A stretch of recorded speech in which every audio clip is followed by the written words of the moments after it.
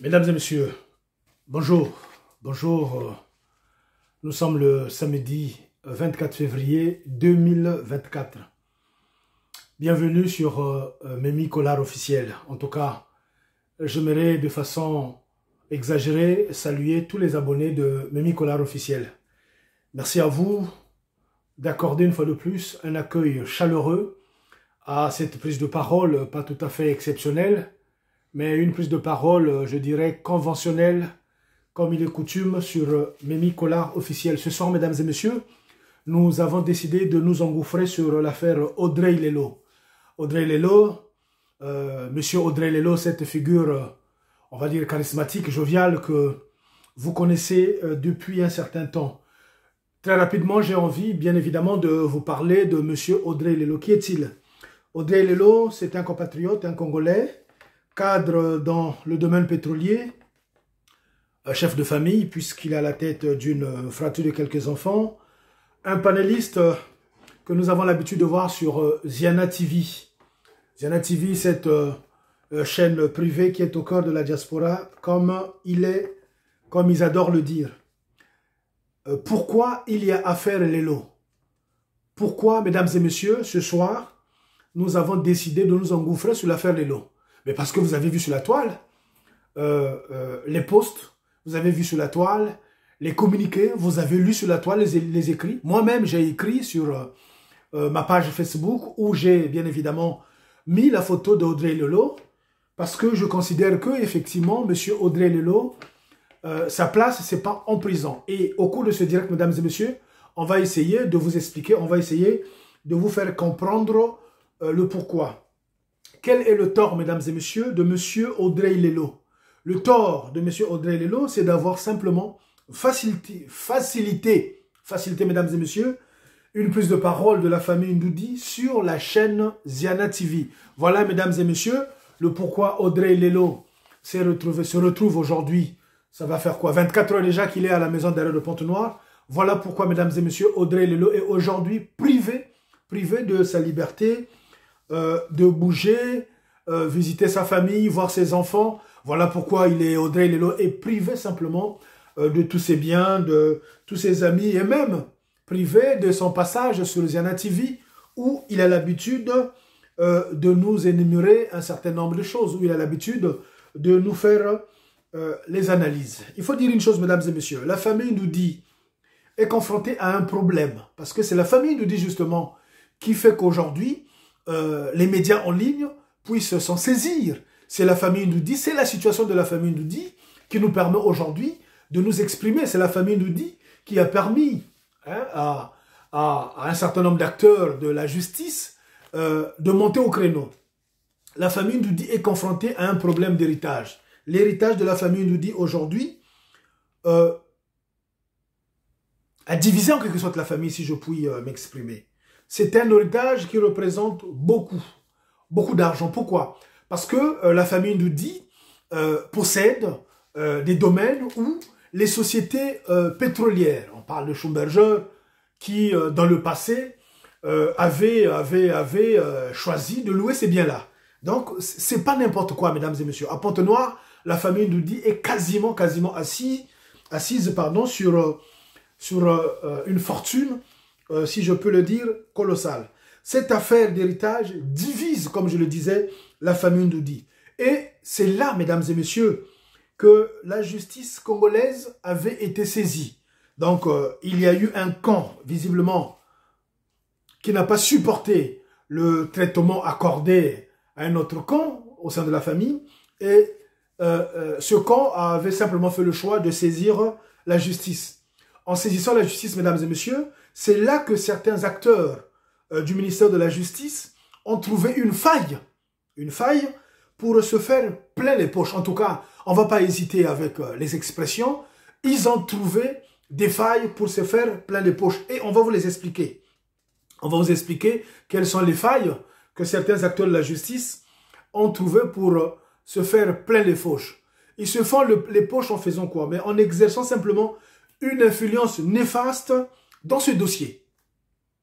Quatre noms, mesdames et messieurs, quatre noms au cœur, au cœur de ce, au cœur de ce dossier. le nom de Audrey Lelo, on va le mettre de côté, puisque visiblement, Audrey Lelo apparaît ici comme étant une victime. Mais il y a quatre noms. Le nom qui vient en premier, mesdames et messieurs, qui serait au cœur de cette affaire d'héritage, ou cette affaire de la justice, cette affaire d'héritage qui est arrivée justement sur la table, euh, euh, euh, au cœur même des rendez-vous pris, des, décisions prises par la justice. En premier, nous avons monsieur Aimé Wilfried Binanga. Qui est-il? On doit simplement rappeler que c'est le ministre de la Justice congolaise. Monsieur Guy Compacol, Monsieur Guy Compacol. Qui est-il, mesdames et messieurs? Il est le conseiller juridique et inspecteur de juridiction, conseiller juridique du ministre de la Justice et inspecteur de juridiction, ainsi que ami intime, ami de longue date, ami avec lequel ils ont l'habitude euh, de se prendre, de prendre un verre, amis avec lequel ils ont l'habitude de manger ensemble, amis avec lequel ils ont fait aussi euh, un certain nombre de coups. Hein. Voilà, on va le dire ici. Ami intime euh, du ministre Aimé Wilfried Binanga. Et en plus de cela, il y a une autre ligne qu'il faut rajouter. Il est époux, il est l'époux de madame Nancy, mademoiselle Nancy nous dit, bon, aujourd'hui c'est madame, on va dire Campacol. Mais en tout cas, il est, en couple avec euh, euh, mademoiselle Nancy Noudi, mademoiselle, euh, madame, pardon, Guy Compacol, madame Nancy Compacol, née Nancy Noudi. Nancy Noudi, qui n'est autre que une sœur cadette, ou Nancy Noudi, qui n'est autre que celui qui a subi, on va pas dire, on peut le dire, une pression, celui qui a été euh, euh, euh, en quelque sorte harcelée psychologiquement et celle-ci aurait fait le choix de s'exclure de la famille sous l'effet, bien entendu, sous l'influence, bien entendu, de monsieur Campacol, son époux. Et enfin, mesdames et messieurs, vous avez, nous avons dans ce dossier monsieur Mohamed Okenge. Monsieur Mohamed Okenge. Qui est Mohamed Okenge? Il est simplement juge. Il est le juge. C'est lui, mesdames et messieurs, qui a instruit, qui a instruit ce dossier. Et c'est lui euh, qui est sous, j'allais dire l'impulsion, mais c'est lui qui est sous la domination mortifère, la domination sale euh, de Monsieur Campacol. Bon, Guy Campacol, mesdames et messieurs, c'est, euh, on va pas dire le tout-puissant, non. Au-delà de sa proximité avec le ministre aimé Wilfried Binanga, au-delà euh, de ces moments intimes qu'ils peuvent, ou qu'ils partagent avec le ministre de la Justice, euh, M. Guy Compacol est le cerveau penseur de cette histoire euh, d'héritage. C'est-à-dire que, pour être simple, on va, on va, on va pas aller loin, on va éviter les, les théories qui font, qui font fâcher. C'est lui, mesdames et messieurs, c'est l'homme qui vient vociférer à l'oreille de M. Wilfried Aimé Wilfried Binanga, ministre de la Justice. Bon. Euh, tous les matins, mesdames et messieurs, après avoir, ça c'est ce que nous avons découvert, après avoir bu quelques verres de Jack Daniel, Monsieur Guy Compacol va faire le point avec le ministre de la Justice. Tous les matins, après avoir fracassé une bouteille de Jack Daniel, Monsieur Guy Compacol, inspecteur, inspecteur, croyez-moi mesdames et messieurs, hein, euh, des juridictions en République du Congo, va faire le point euh, auprès du ministre de la Justice. C'est vous dire simplement que c'est pas n'importe qui, mesdames et messieurs. Guy Compacol, c'est quand même quelqu'un qui aujourd'hui a un poids au cœur même du ministère de la Justice. Il y a visiblement, mesdames et messieurs, un conflit d'intérêts dans cette affaire. Et ni le ministre de la Justice, ni le juge, euh, euh, euh, ni personne d'autre ne souhaite bien évidemment mettre fin à ce conflit d'intérêts. Parce qu'on voit bien qu'il y a là conflit d'intérêts entre le ministre de la Justice et son conseiller, entre le conseiller et son épouse, entre le conseiller et le juge. C'est un club des gens qui se connaissent dorénavant et qui ont décidé simplement de garder la tête sous l'eau de la famille nous dit. C'est des gens qui ont simplement décidé de botter en touche tous les recours, de bosser en touche toutes les bonnes volontés, de nuire simplement, hein, nuire simplement euh, euh, une partie de la famille nous dit. C'est un ensemble de personnes qui venaient là de décider de favoriser l'aile de Madame Compacol, née Nancy Ndoudi. C'est une affaire folle, c'est une affaire difficile parfois à comprendre. Bon, il faut quand même avoir l'honnêteté intellectuelle. Il fut un temps où le ministre de la Justice avait été, semble-t-il, dans différents canaux interpellés. Je ne veux pas ici citer les, mises en garde de M. Denis Sassou Nguesso, où on avait fait comprendre à M. Aimé Wilfried euh, Binanga, Bininga, pardon, Bininga, qu'il fallait bien évidemment euh, prendre un peu de la hauteur. Bon, euh, sauf que celui-ci, on va pas dire qu'il a été violé intellectuellement par son conseiller, mais en tout cas, c'était sans compter sur l'influence grandissante, l'influence monumentale de son conseiller. au point, je me pose la question de savoir, est-ce que le ministre de la Justice ne serait pas simplement sous l'influence de son conseiller? Est-ce que le ministre de la, Justice ne privilégie-t-il pas ou ne privilégierait-il pas euh, ses relations personnelles avec son conseiller à la place euh, du droit, à la place euh, des règles de droit Voilà la question que nous devons nous poser, mesdames et messieurs. Monsieur Guy Campacol,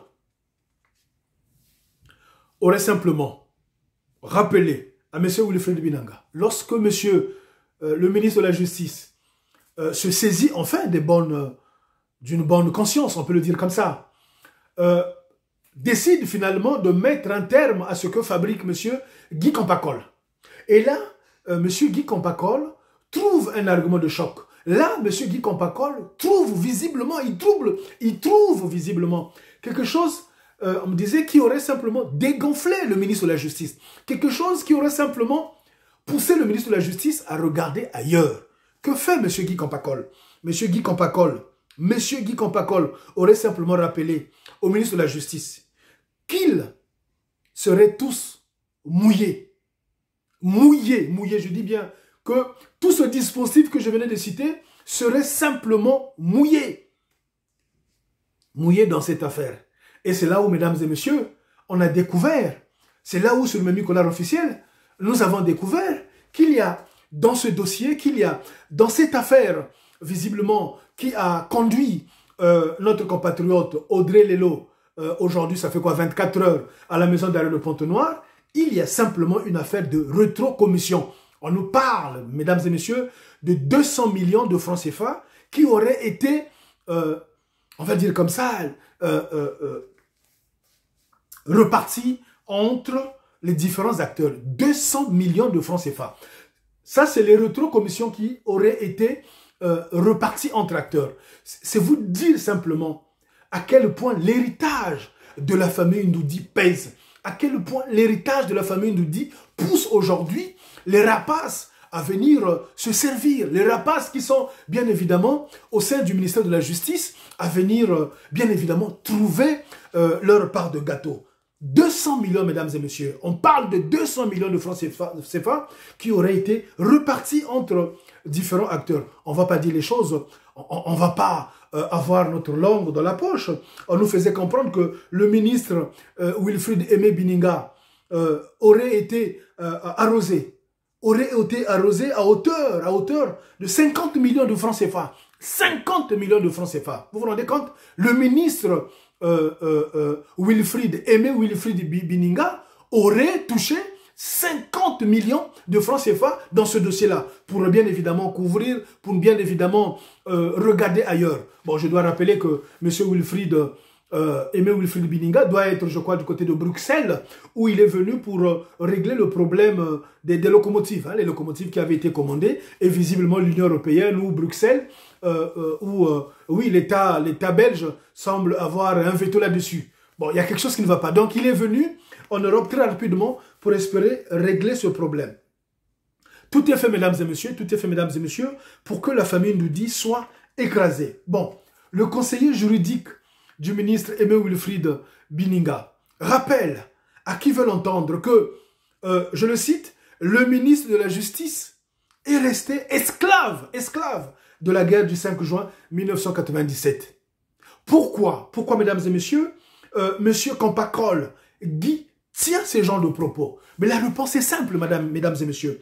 Souvenez-vous, souvenez-vous, lorsque euh, monsieur Aimé Wilfried euh, Bininga est reconduit à son poste, lorsque euh, celui-ci est reconduit à son poste donc au ministère de la Justice, on a tous vu la vidéo, puisque c'est de ça que son conseiller dorénavant se sert pour bien évidemment déstabiliser son ministre de tutelle, son ami intime. Bon, dans, cette vidéo, qu'est-ce qu'on voit? Mais dans cette vidéo, on constate simplement que le ministre euh, Aimé Wilfried Bininga tient des propos. Tient des propos devant euh, la caméra, devant euh, visiblement euh, un téléphone, quelqu'un est de le filmer, et il a tenu ses propos. Et c'est là, mesdames et messieurs, que M. Guy Campacol a jugé bon de surfer sur les propos de M. Wilfried Bininga. que dit, que dit, mesdames et messieurs, les propos de M. Wilfried Bininga? Bon, Lorsqu'il fut reconduit à son poste, Aimé Wilfried Biningal disait ce qui suit, je le cite. Sassou est notre père, il faudra d'abord marcher sur nos cadavres, sur nos corps, avant d'atteindre M. Denis Sassou Nguesso. Voilà là, mesdames et messieurs, l'arme fatale que euh, le conseiller de l'actuel ministre de la Justice est en train de véhiculer partout où il passe, mesdames et messieurs. Or, il faut le dire une chose, aujourd'hui, Personne ne veut atteindre M. Denis Sassou Nguesso. Pourquoi? Mais parce que les Congolais sont patients. Les Congolais observent. Les Congolais regardent ce qui se passe. Les Congolais ne veulent plus subir les violences. Les Congolais pensent aujourd'hui d'abord au quotidien.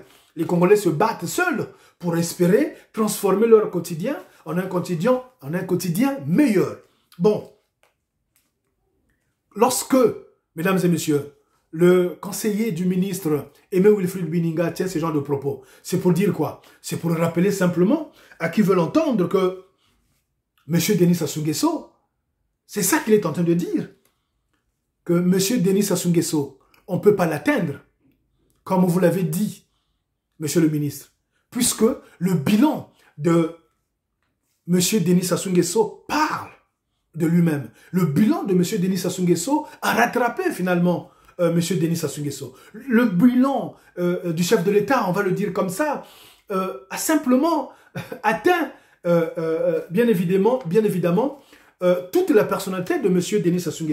Et on peut le dire, le bilan n'est pas aussi positif que cela. Le bilan de Monsieur Denis Sassou est visiblement sale. Et quand on dit sale, c'est pas simplement parce que nous voulons lancer une polémique là-dessus. Quand on dit sale, c'est parce que il y a une constatation euh, qui a été faite en République du Congo. Quand on voit tous les travaux exécutés en République du Congo, quand on voit la façon dont fonctionnent différents secteurs en République du Congo, que ce soit en termes de sécurité, en termes d'éducation, l'économie, euh, bon, euh, quasiment toutes les branches, on peut simplement dire qu'il n'y a aucune impulsion positive qui a été donnée. Les gens se sont enrichis sauvagement au détriment de ce qui pouvait servir le peuple congolais. Les gens ont fait une pagaille extraordinaire au détriment du peuple congolais, au détriment de M. Denis Sassou Nguesso même, qui les a fait confiance. C'est là, mesdames et messieurs, que le conseiller Campacol, Guy Campacol, euh, euh, est allé toucher euh, là, où, ça fait mal. C'est là où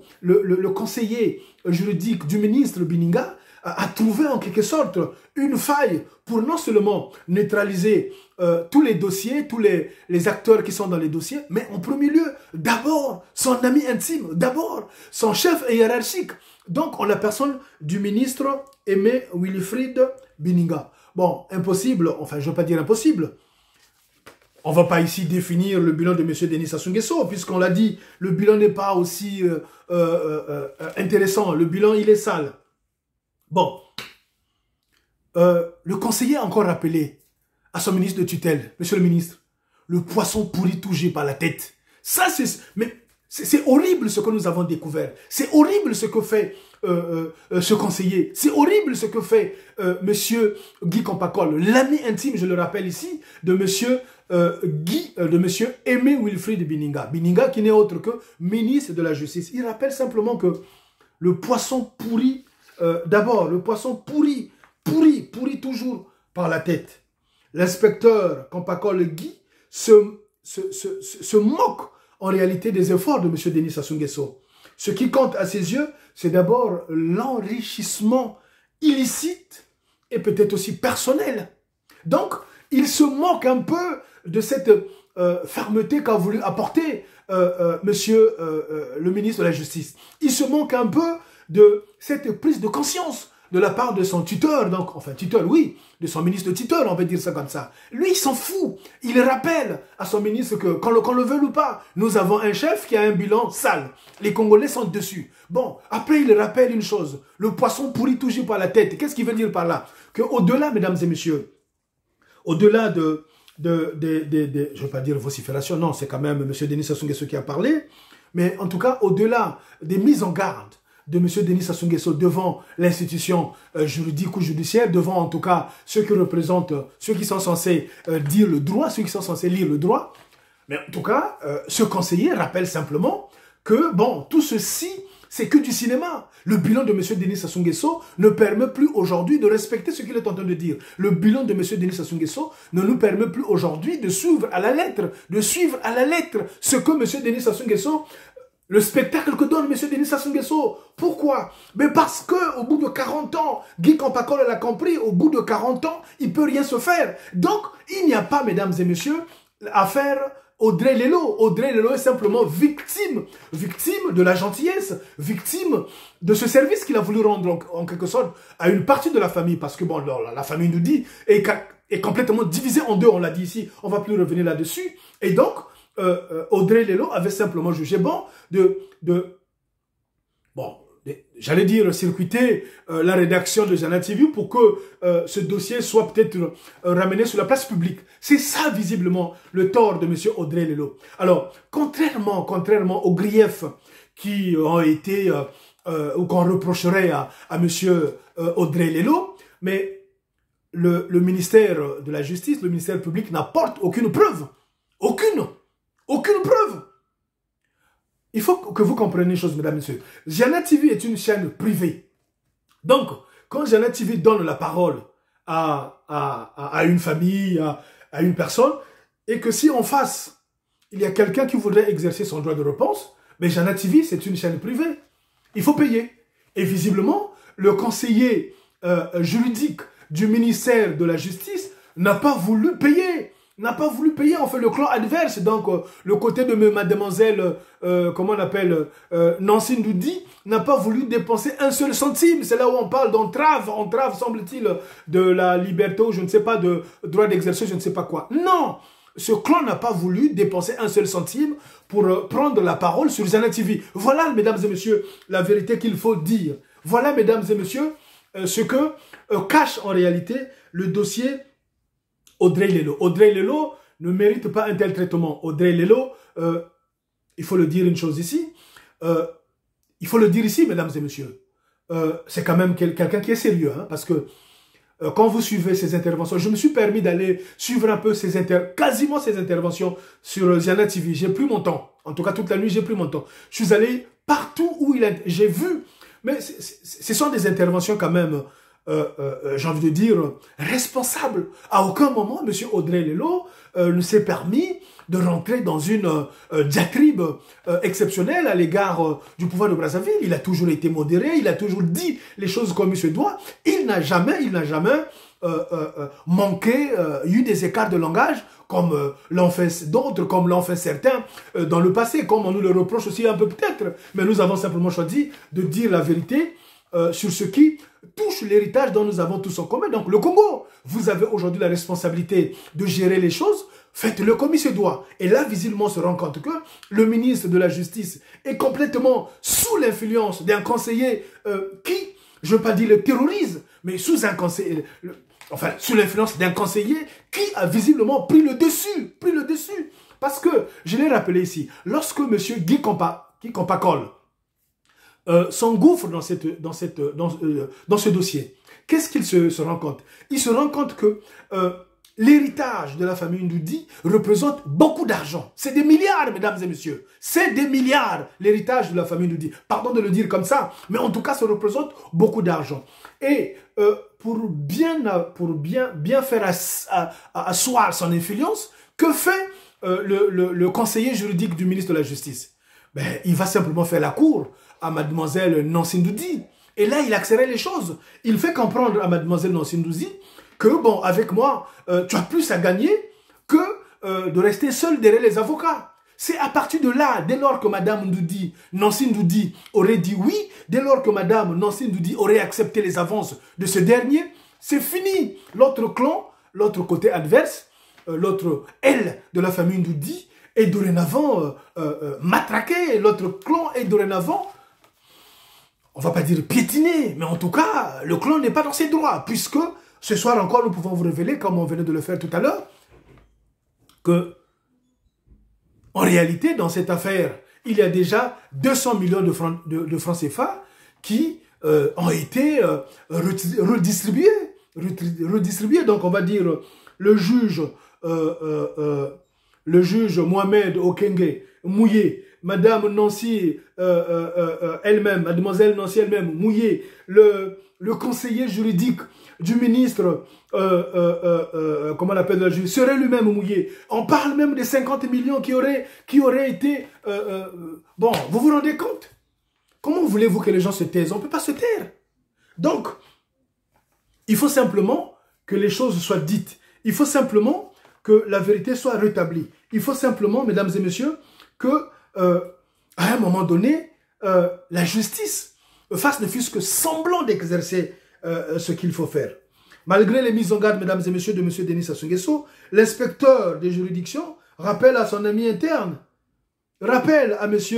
Wilfried, au ministre de la Justice, y compris certainement au juge, parce que dans tout ça aussi, le juge s'est dit, mais c'est ma carrière avant tout. Mais comme il est sous l'influence de ce monsieur Guy Campacol, à partir de là, le, juge, Mohamed Okenge, regarde ailleurs, fait ce qu'on lui demande de faire.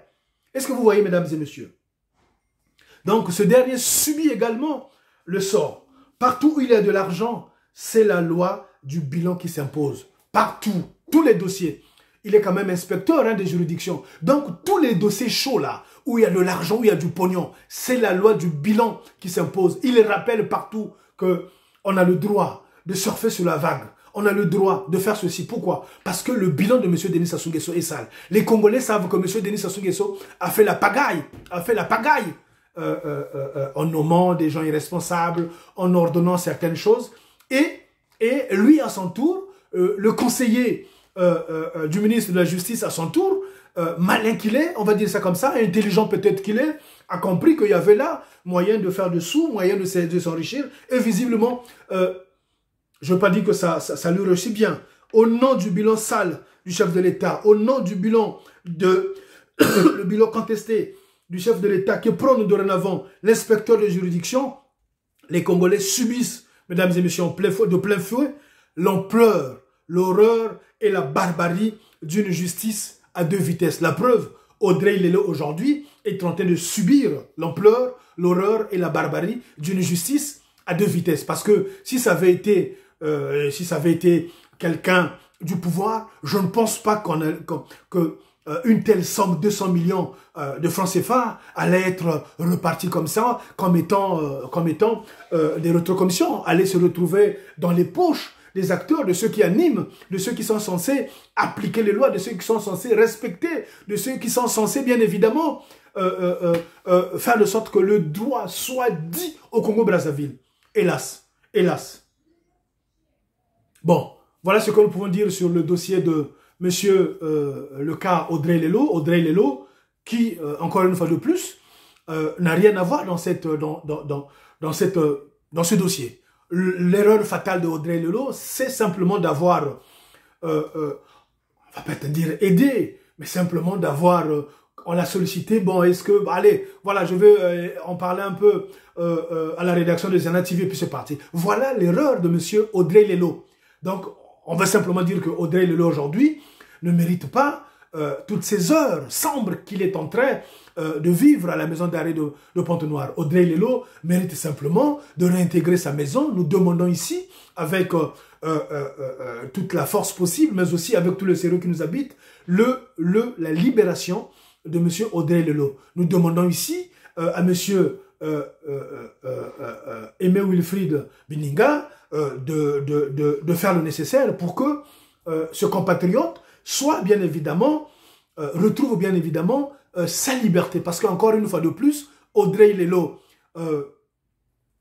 c'est, on va dire, c'est, comment on peut dire ça? C'est, bon, quelqu'un qu'on a pris, allez, prenez-le pour essayer un peu de s'agiter pour que les Congolais regardent ailleurs, quoi. Si on va fouiller dans la vie d'Audrey Lelo, on ne trouvera pas euh, des dégâts colossaux qui mettraient peut-être euh, une institution au Congo en danger. La preuve, j'ai rappelé ici, à chaque fois Audrey Lelo euh, fait ses interventions sur Zana TV, ce sont des interventions modérées. Audrey Lelo dit ce qu'il maîtrise, Audrey Lelo fait des analyses en fonction de ce qu'il voit, en fonction de ce qu'il comprend, en fonction aussi de ce qu'il connaît. Pas dans la perspective de brutaliser la République, pas dans la perspective de se moquer d'une institution, mais simplement dans la perspective de jouir comme il se doit ou d'exercer comme il se doit ce qu'on appelle au Congo la liberté d'expression. Audrey Lelo, encore une fois de plus, n'a rien à voir avec euh, euh, euh, cette somme monumentale qui aurait servi de rétrocommission, puisque je le dis encore ici, Madame Nansindoudi serait mouillée, le juge Mohamed Okenge mouillé, serait lui également mouillé. Le, le, le conseiller juridique et inspecteur et l'ami intime du ministre Wilfried, Aimé Wilfried Bininga, en la personne de Guy Compacol, serait lui également mouillé. On parle également des 50 millions qu'aurait touché le ministre de la Justice. Vous vous rendez compte? Pardon. C'est une situation euh, abracadabrantesque. C'est une situation euh, euh, insupportable quand on voit que les gens sont payés tous les mois, reçoivent beaucoup d'argent pour essayer de faire fonctionner les institutions. Et on se rend compte que ceux à qui on a donné le pouvoir, ceux à qui on fait confiance, ceux à qui on a réussi à établir comme au nom de la République, nous vous conférons des lois pour ces, ceci, c'est les mêmes personnes qui basculent, basculent, basculent dans dans des pratiques sombres. C'est les mêmes personnes qui, au nom d'un bilan qui est calamité, au nom d'un bilan, mais enfin, il y a quand même quelque chose que le conseiller euh, euh, euh Guy Compacol oublie. Le PCT peut déléguer aujourd'hui euh, euh, les, ceux qui savent vraiment faire du bruit, ceux qui viennent parler pour venir défendre le bilan de M. Denis Sassou Nguesso. Et là, certainement, certainement que les, je ne veux pas dire les Atalakou, mais les, les, les responsables du PCT euh, trouveront bien évidemment euh, des terrains sur lesquels euh, ils nous feront comprendre, ils feront comprendre au peuple congolais que le bilan de M. Denis Sassou Nguesso n'est pas nul que cela. Mais or, même le PCT aujourd'hui est incapable, même le PCT aujourd'hui est incapable que ce soit M. Parfait Iloki, le porte-parole, le secrétaire à vie, je ne sais pas du PCT. Personne n'est capable, personne n'est capable de venir défendre le bilan de M. Denis Sassou Nguesso. Et c'est pas surprenant que M.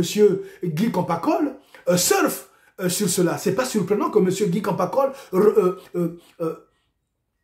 parle à son ami intime en disant simplement qu'écoute, au fait, en gros, il est en train de dire à M. Wilfried Minanga, profite pendant que tu es ministre de la Justice. Profite parce qu'on n'en a plus pour longtemps. Profite parce que c'est des situations qui ne vont pas arriver le moment venu. Bon, parce que pourquoi celui-ci va rappeler à son compatriote, à son, ami intime, euh, les propos tenus lors de sa reconduction euh, à la tête du ministère de la Justice. Pourquoi?